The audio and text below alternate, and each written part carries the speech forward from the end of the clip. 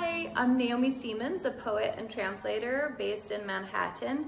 And today I'm going to read to you from my translation from the Old English of the Seafarer, which I worked on while in residency at Berwick upon Tweed on the North Sea, and where I had the great privilege of meeting my now friend and ongoing collaborator, the artist Morag Eaton. The Seafarer. I can be honest about myself, tell the true tale of my travels, how I often struggled through some troublesome times, and for a weary while had to put up with an acrid ache, a weight on my chest. I got to know the terrible cross trenching of the waves on a ship, those houses of sorrow, where I was often caught in a claustrophobic night watch crushed up against cliffs, my feet cinched with cold, fettered by frost. Despite those cold clamps, anxiety seethed hot around my heart, and inner hunger rent my sea weary spirit. The lucky landsman doesn't understand how I, miserable and sad, would withstand the cold sea ice in winter, the exile tracks without loved ones I was hung with frost crystals. Pelting hail flew.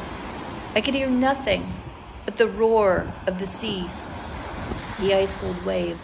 Sometimes for fun, I would imagine the song of the swan, the gannet's noise, and the curlew's voice, and pretend they were people laughing. The singing seagull was my drinking buddy. Storms beat stone cliffs the icy feathered tern would talk to herself. Very often, the eagle cried out at that, dew on her feathers.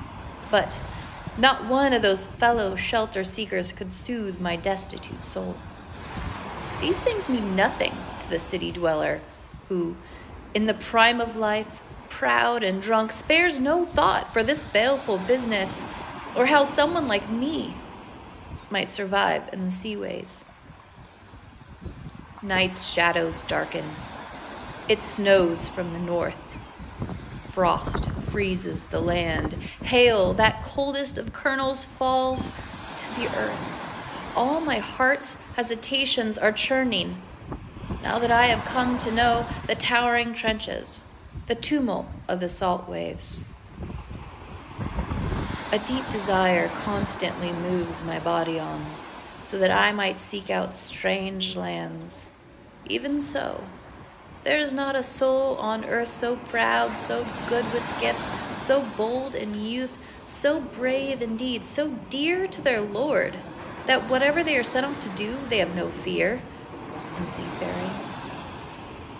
Even so, the seafarer doesn't need things like harp singing, or ring giving, or someone to warm the bed, all the world's comforts, anything else, except the rolling of the waves.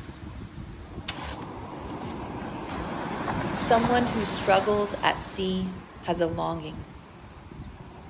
The woods begin to blossom.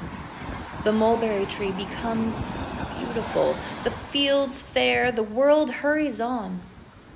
All of these things move the mind, the eager spirit to travel, move the one who thinks like this to travel far on the flooded paths of the sea. Just as the mournful language of the cuckoo, summer's ward, singing, forebodes a horde of bitter sorrows building up in the body, a person, a prosperous warrior, doesn't understand what those of us endure who follow far and wide the ship tracks of other outcasts. Listen now my spirit is spiraling out from my chest. My imagination is taking flight amidst enormous waves. It soars over the whale's home to the corners of the earth. It comes back to me eager and greedy. The lone flyer screams, egging the untamed heart onto the whale road across the surface of the sea. For me, the seduction of the sea burns hotter than this dead life, fleeting on firm ground. I don't believe the earth's wealth will always remain for a body. One of three things will always call it in question before the time comes disease, old age, the sword. They tear the life out of those doomed to die. The praise of the living to the ones who remain is the best last. For everyone must work up a little worldly glory before they move on their way, a little glory on earth from the fending off the enmity of fiends, brave deeds against a couple of devils so that people will praise them afterwards, and that they might share a little fame with the angels always. There's glory in that lasting life, joy with such a host of heroes. But the glory days of Earth's kingdom are over. There are no kings now, no Caesars, no gold givers, as in the ancient days, when people performed mighty deeds and lived with most lordly authority. That whole company of heroes has disappeared.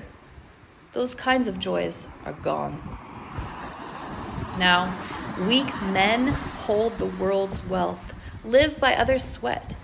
Glory is gone.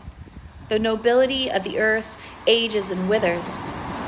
As know every person throughout the earth ages and withers.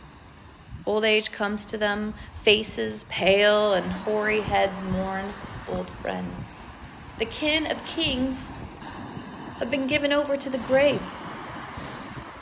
When life leaves you, that flesh you called home can no longer taste sweetness, feel pain, lift its hand, or make its mind work. You want to strew grave gold for your family. You want to bury treasure with your siblings' bones, but it's of no use to them. Gold is unable to save a soul steeped in sin when faced with the fear of the gods, even if they still walk the earth. Mighty is the terror of the measurer, from whom the world turns. She has fixed firm the land, all the corners of the earth, and the high heavens. Someone who doesn't fear their ruler is a fool. They are undone by death. The one who lives lightly on this earth is fortunate. Help comes down from the heavens. The measure makes their minds strong because she believes in their strength person must navigate their unruly ideas, hold them in check, be trustworthy to others, keep their wits about them. One must moderate love for friends with the hatred held for enemies, though you want to fill someone full of fire or build the biggest pyre to celebrate a friend. Fate is stronger, the measure mightier than anyone's plans. Let's consider where our home could be. Then think about how we might get there. And let us also act in order to be back where we belong, the high heavens of Our Lady's love. Let there be thanks to the Holy One for this, because she found us worthy.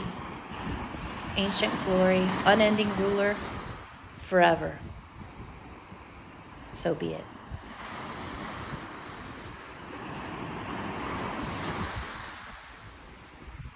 I'm Morag Eaton, printmaker, resident in Berwick-upon-Tweed in England, where my partner Dave Watson and I run Forge Gallery.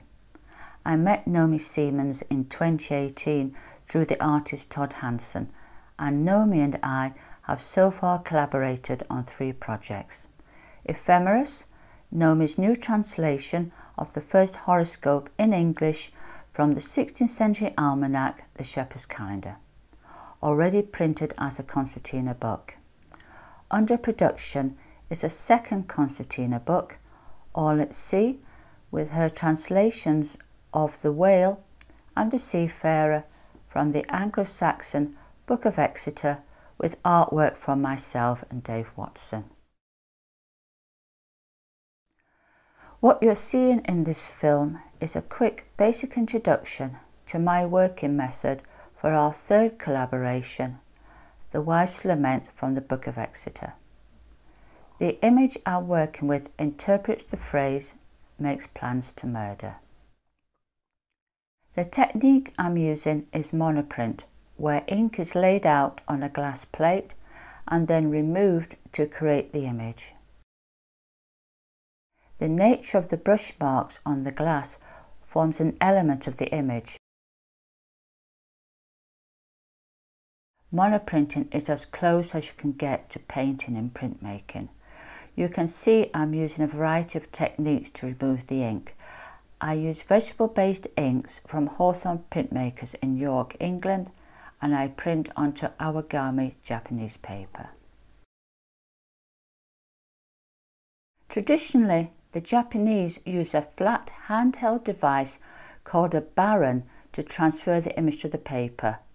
I prefer the end of a large metal spoon because the pressure can be applied more specifically. To apply pressure to a larger area, I use the smooth edge of a mobile phone.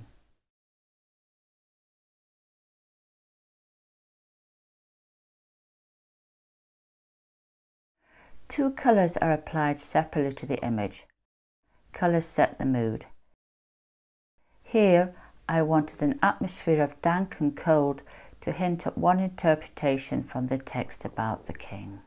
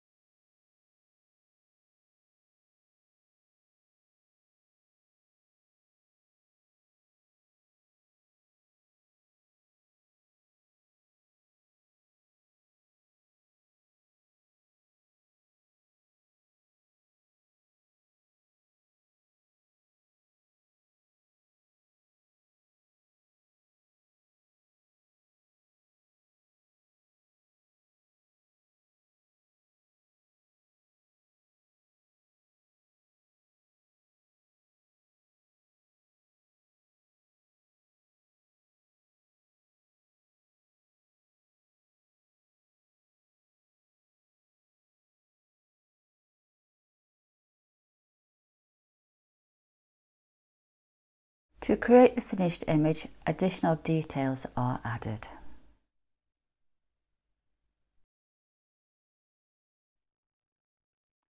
I describe the work I make as interpretation rather than illustration.